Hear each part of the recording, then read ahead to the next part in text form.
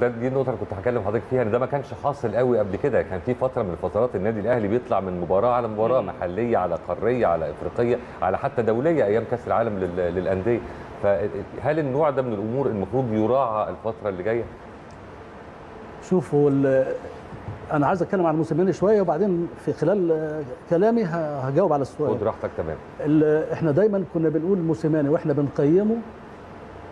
أي واحد اشتغل في المهنة ديت يعرف وهو بي يعني مش مدرب بيقيم مدرب لكن آه. بيبقى فيه حاجة أساسيات في في ال- في الشغل بتاعنا زي مهندس بيبني عمارة يحط أسمنت في حاجات معينة كده طبعا. تتحط عشان العمارة تقف أكيد. كذلك في التدريب الراجل ده من يوم ما جه دخل على معترك قوي جدا أنت رايح الوداد رايح جاي بتروح تكسب الوداد وبتضغط على الوداد اللي كان الإعلام كله عامل رعب لفريق ال- النادي الأهلي الوداد وهنحصل وهيعمل الراجل راح بقلب زي الحديد أيوة.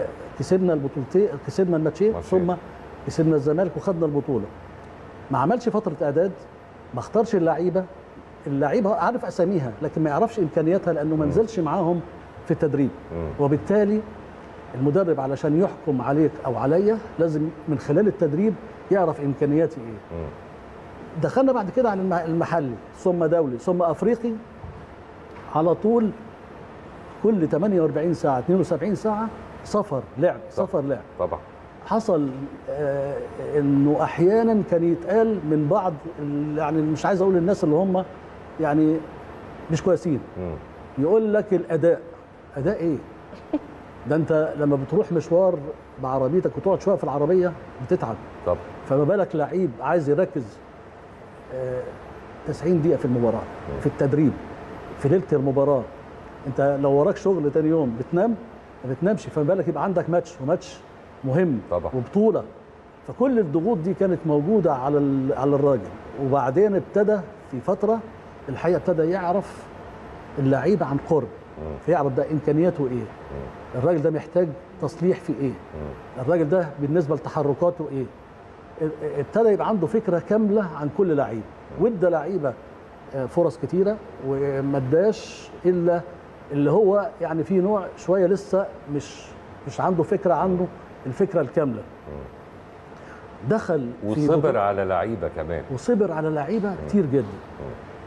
الراجل ده في ماتش الترجي اللي فات اللي الحاجات كده بتفوت كده سهلة اللي حصل قبل الماتش. واللي شفنا الشماريخ وال طبعا. وال آه. والغاز والحاجات دي.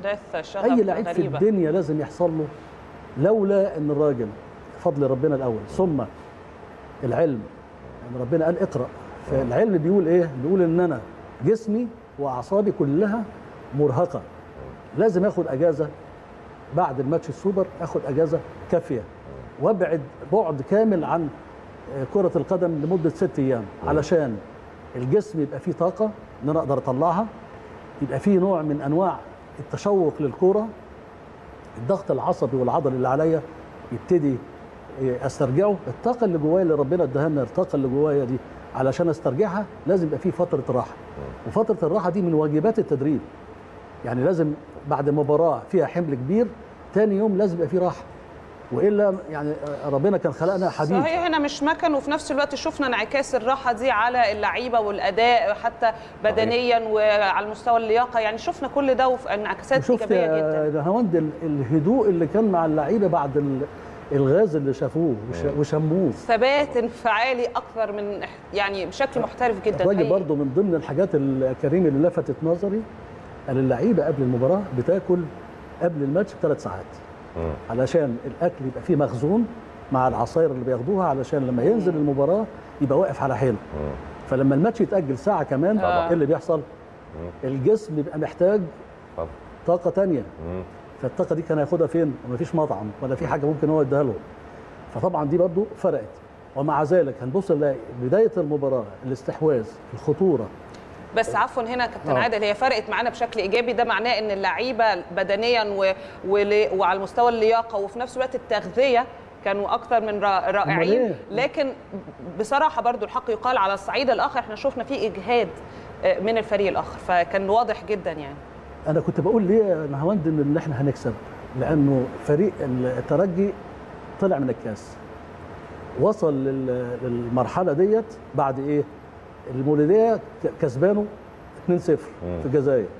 وهو اتعادل معاه 2-2 بالعافية في تونس. أيوه صحيح. وكسبوا بضربات جزاء. الحالة المعنوية والتدريبية بتاعتهم مش كويسة. مم. في حين إن إحنا كنا في مرحلة صعود ثم هبوط ثم في مرحلة صعود تاني. إحنا دلوقتي في مرحلة صعود.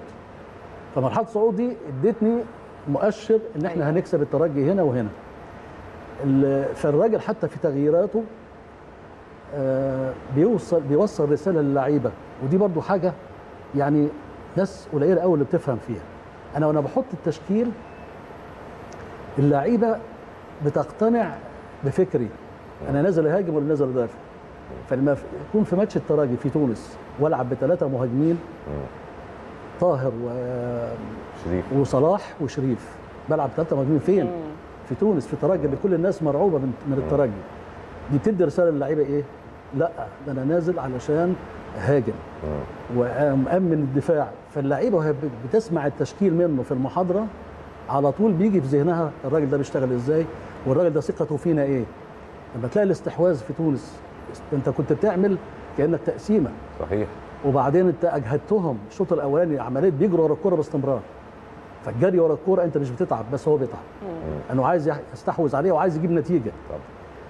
فأنت برضو هناك جبت جول وكان ممكن تجيب ثلاث أربع جوال تغييراته كانت تغييرات طبعا أكثر من رائعة. ده بالنسبة للماتش ال- الأولاني. الماتش الثاني يمكن إحنا في البداية أنا باخد عليه حتة صغيرة جدا. اللي هو هو كان عامل سيناريوهين. إن الترجي هينزل يضغط علينا. فلما ينزل يضغط عليك ما تبتديش من تحت لأنه كان بيضغط مجموعة كبيرة قوي. كان ممكن جدا يبقى عملية بداية الهجمة تبقى في الثلث الثاني يبقى الشناوي لما يمسك يمسك الكورة يديها مثلا لقفشه أو يديها آه، لعلي معلول بس ما يديهالوش تحت. يديها له فوق شوية. هي دي برضو يعني إنما الحمد لله الضغط اللي كان علينا بس ما كانش فيه الخطورة. ثم الجملة اللي اتعملت. وبرضو من ضمن الحاجات اللي الراجل ابتدى يشتغل عليها إنه ابتدى يعمل جمل. يا نهاوند بيعمل جمل. الجول الأولاني. شفنا الكورة بتتلعب وبعدين طاهر كان فين؟ كان جناح كان راس حربه اتعملت له بقى هو الجول. فطبعا الكلام ده كله مع ضربة الجزاء اللي هي كوره فيها شرعية إن أنا لما أنفرد بالجول وحد يمسكني بيطرد وتبقى ضربة جزاء. ما خدناش حاجة. مش من حقنا. لا ده ضربه